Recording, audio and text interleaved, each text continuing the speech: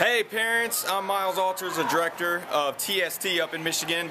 Week four, it is hot, it is humid. We had a little bit of rain today, but that's okay because it's beautiful skies now. But we're gonna go inside, check out, see how our, our campers are working really hard in the dish tank and uh, serving dinner. So come check it out.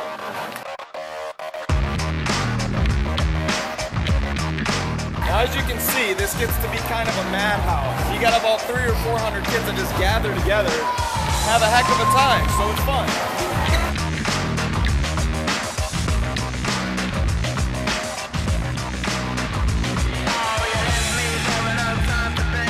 TSC are like outstanding. They make camp what it is. Literally, camp could not run without TSC. The best part about TSC is getting to serve God with all these cool people we just met. Um, I like to be working around and hanging out with other people and uh, just meeting new friends. Now we're gonna go my favorite place, the dish room. Now this is where people have no fear of the water, of the soap, of anything really for that matter.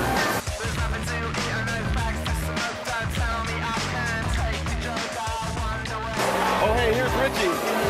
This is Richie. This is one of the crew chiefs. He is great. He gets the kids rounded up. He gets. I'm, I'm not better. I don't. Hello, parents. Hi.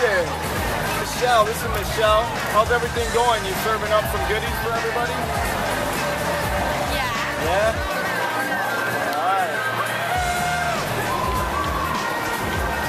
See, now what would people do if we didn't hand them sweets and goodies? I don't know. They would have, they'd be missing out. Someone's life. Those ice cubes, someone could have slipped and fallen and gotten hurt, but thanks to these gentlemen, they're not going to be hurt.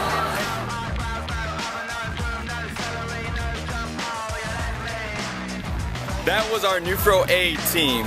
So they're in there. Um, you got to see a little bit of what they're doing.